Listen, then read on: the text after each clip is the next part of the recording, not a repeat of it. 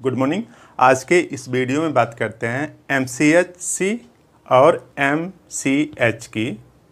दोनों का मतलब क्या है और किस तरह से अंदाज़ा लगाया जाए कि शरीर में क्या गतिविधियाँ चल रही होंगी। तो देखिए, जब भी आप सीबीसी करवाते हैं कंप्लीट ब्लड काउंट जब करवाते हैं तो उसमें एक कॉलम बना होता है एम का और एक कॉलम बना होता है एम सी एच का। तो इस वीडियो में हम लोग ये देखते हैं कि एम सी एच सी अगर बढ़ता है या फिर कम हो जाता है तो उसका मतलब क्या है? तो देखिए, यहाँ पे एम सी एच सी का फुल फॉर्म क्या है? Mean corpuscular haemoglobin concentration. और इसी के जस्ट पैरलर दूसरा टर्म है एम सी एच ए है।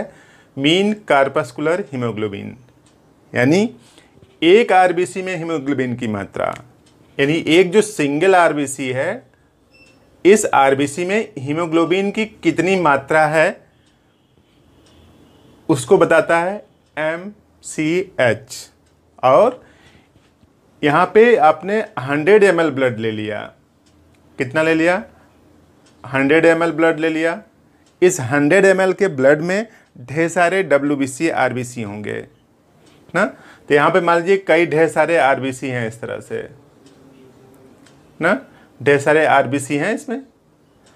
तो इस टोटल 100 एम में टोटल 100 एम में जितनी भी हीमोग्लो आर बी सी हैं, उसके अंदर टोटल हीमोग्लोबिन की मात्रा कितनी है? इसीलिए देखे लिखा है 100 एम ब्लड में हीमोग्लोबिन की कुल मात्रा, क्योंकि जब आप 100 एम ब्लड लेंगे तो उसमें ढेर सारे आरबीसी होंगी। टोटल सम, यानी 100 एम ब्लड के अंदर जो ढेर सारी आरबीसी होंगी, उन सब का जो सम है, उसी को बोलते हैं एमसीएचसी नॉर्मल मात्रा की अगर बात किया जाए तो नॉर्मल मात्रा ये है 34 plus minus point two gram per 100 M यानी 100 एम अगर आप ब्लड लेते हैं तो जो एम सी की वैल्यू हो सकती है 32 बत्तीस से लेकर कहाँ तक हो सकती है? 36 तक।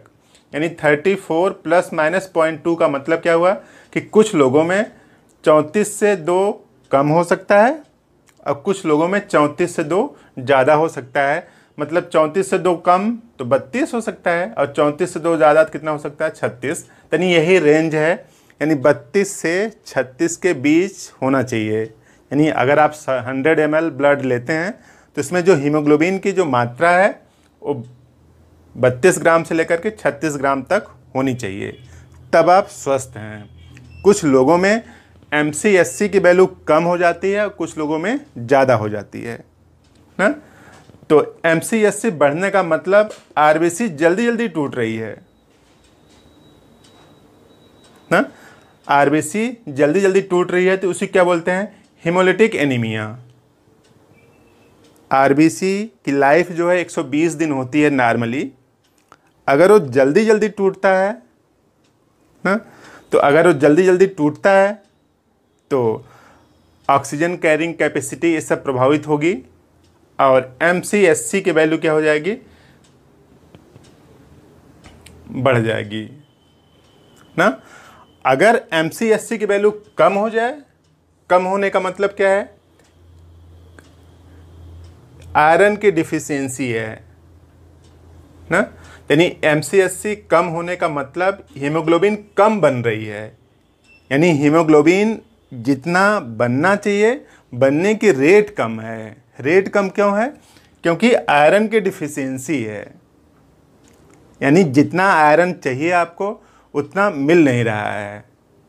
और बाद में वही कंडीशन क्या हो जाती है? थैलीसीमिया होती है या फिर ए इनबर्न डिसऑर्डर है जेनेटिकल डिसऑर्डर इस तरह से थैलीसीमिया तो देखिए, जब भी आयरन की डिफिशियंसी होगी तो आयरन की डिफिशियंसी दो तरीके के हो सकती है।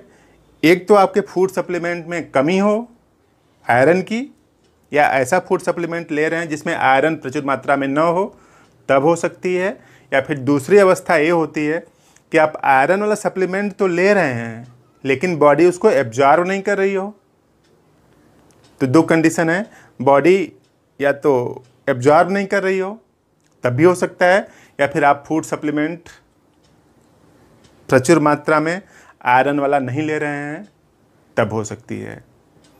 तो देखिए, जब भी एम सी एच सी कम हो और ज़्यादा हो। दोनों शरीर के लिए किसी न किसी तरीके से नुकसान पहुंचाते हैं। तो इस तरह से जो कंप्लीट ब्लड काउंट है, जो सीबीसी है, उसके रिज़ल्ट से यही अंदाज़ा लगता है, यही पता चलता है। तो अगर बढ़ गया है तो हीमोलिटिक एनीमिया है मतलब आरबीसी जल्दी जल्दी टूट रही है और टूटने के कई कारण हो सकते हैं। जैसे आपको मलेरिया फीवर काफ़ी दिन से आ रहा हो, या फिर टाइफाइड फीवर आ रहा हो हाँ? तो जल्दी जल्दी टूटेगा आरबीसी और डिफिशियंसी वाला अगर हो तो इस तरह से आयरन की डिफिशियंसी हो। तो इस तरह से इस टेस्ट का यही मतलब होता है। और इसका जो इलाज है, इस बात पे डिपेंड करता है कि क्या है, अगर बढ़ा हुआ है तो उसके लिए अलग इलाज। और अगर कम हो गया है तो उसके लिए अलग इलाज। तो बेहतर सहायता के लिए वीडियो का डिस्क्रिप्शन बॉक्स भी देखें और जो रिपोर्ट है, उसी के बेसिस पर ट्रीटमेंट संभव है। ऐसे कोई दवा बताना दोनों के लिए एक दवा नहीं हो सकती, दोनों के लिए अलग अलग दवा होगी। टाइफाइड है तो उसकी अलग दवा होगी। मलेरिया है तो उसकी अलग दवा होगी। तो सबकी कंडीशन के बेसिस पर दवा बदलती रहती है। तो इस तरह से एक जानकारी आपने आज समझा, बात समझ में आई। तो प्लीज़ इसको लाइक करें चैनल को सब्सक्राइब करें और वीडियो को दूसरों को भी शेयर कर दिया करें। नीचे जो शेयर का ऑप्शन आता है ना शेयर करने के लिए तो आप लिंक शेयर कर सकते हैं या फिर व्हाट्सएप पर भेज सकते हैं।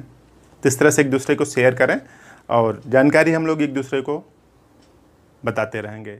तो आपने पूरा वीडियो देखा। Thank you.